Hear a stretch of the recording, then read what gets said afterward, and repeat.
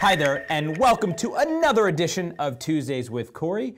Today, I'm going to show you the new policy experience in Azure. Now, policy is so important to be able to configure and manage your environment. Okay, and so if you want to lock down your environment, say that you know these guys, let's say you don't trust Rick, like I don't trust Rick, and you want to make sure that he can only do specific things in his environment um, versus the other environments where maybe you give access, you know, to me or or, or, or someone else you trust a lot. Um, uh, you can then go give access and control that down. But maybe you want to give policy to entire environments. Good example, if you're connecting back to an on-premises environment um, and you're saying, look, I need to live up to a specific set of security, whether it's my own defined security or whether it's compliance rules, ISO 27001, right, um, uh, whatever it may be, uh, you can now implement a policy or a set of policies that will then lock down your environment and enable you to secure your system in the way that you want to, right? And so the nice thing is that with, with Azure, with this new experience, you can create these policies, you can put them into groups of policies called initiatives, and you can either audit them or you can actually block based on them, right? And so the nice thing is you can audit them for a period of time and see, you know, who's breaking the rules or who's doing things and understand why. And then you can flip it on and say, no, no, no, I'm going to block it, right?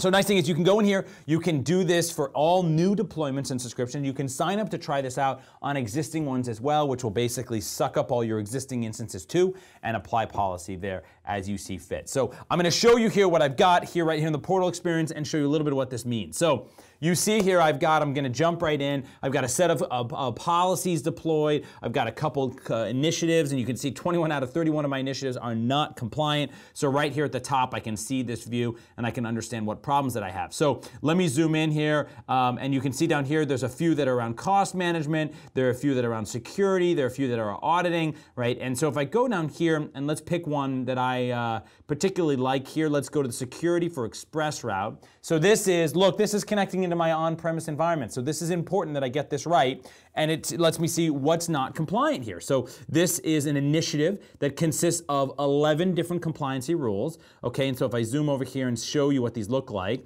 uh, they include things like um, uh, you cannot have a user-defined route on a subnet. Great. Firewall IP filtering has to be enabled. Um, uh, you know, network security groups uh, must restrict traffic to local subnets, so you can't actually be talking out to the internet. Um, uh, uh, firewall must be applied. NICs must have IP forwarding enabled so that you can make sure intrusion detection is turned on. These sorts of things allow you to control your environment, right? Only internal load balancers used. And then here's an important one. Public IP addresses cannot be used. So this makes sure that these virtual machines are shielded from the public and make sure that they're deployed in this secure way. And you can see here, that is the one that is not compliant. And I have 73 non-compliant resources. And so I can zoom in here and take a look at what this looks like. I can take a look at the instances that are not compliant. Um, uh, and I can uh, zoom into what that looks like um, and, uh, and explicitly what resources that looks like. Um, and so this allows me to go see what I'm, rules I'm breaking um, and uh, makes allows me to go in and make the changes and make the fixes. Uh, and so this is a really exciting thing. Um, and so this here, you can see these IP addresses. This allows me to now go fix that problem. Now, if I want to go show you a little bit of what this even looks like, if I go in here and go into assignments, and I'm actually authoring this instead of just applying it and reviewing it, I can go in here and take a look and show you. So here is ExpressRoute Security, and let me actually click in here. Uh, and this has got nine policies, so let me actually view that definition, okay? And so if I click in here and show you what that looks like, uh, this will let me see the definition of this specific initiative. So here you can see I've got the set, and they're all listed as audit, right? And so here are some other examples. Only resource types of Microsoft Network, no user-defined route on any subnet. So again, similar ones that you just saw. But here's what's great. I can now go in and actually say, I'm going to go assign this additional, um, additional rules and regulations here, right? And so let's go in here and say, um, as part of this, I want to, um, uh, you know, assign this to a specific deployment that I've got, or I want to assign it to a specific resource group that I've got. This will allow me to take this initiative and apply it. So let me go back here and show you what this actually looks like to create. Super easy. If I want to go in here and say, look, I want to go actually assign a policy here or assign an initiative. Let's go assign a policy. Click on this here. and that will take me in and allow me to go see the different policies that I have to choose from. So this is what's cool. Let me show you some of these built-in ones. You can now go define your own, right? And you can go build out the template to go define your own, but we've tried to go give you a set of some pre-built ones that will allow you to do this in a really easy way. And you can see actually 190 of these, uh, and some of these actually we built, uh, built here in this account. So audit VMs that don't use managed disks, enforce tags and its value, so you can actually enforce a specific tag is applied to anything deployed. You can actually apply a tag and give a default value to it.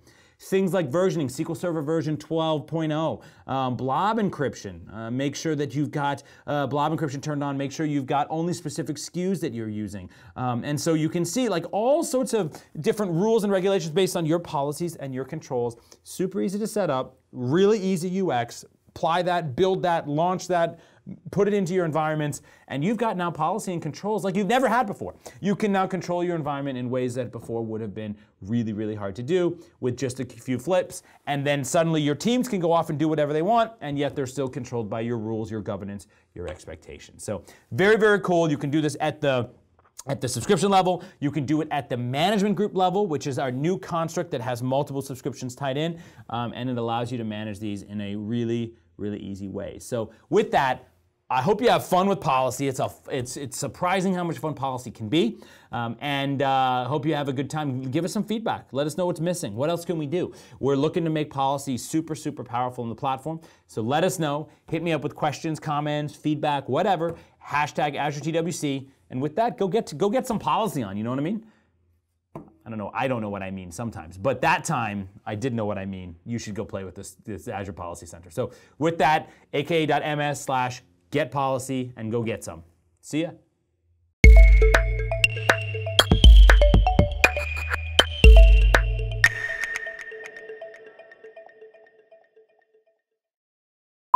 Always. Great. It's all set now. Okay. Three, two, one. Yes. Gabe's here with me too. All right.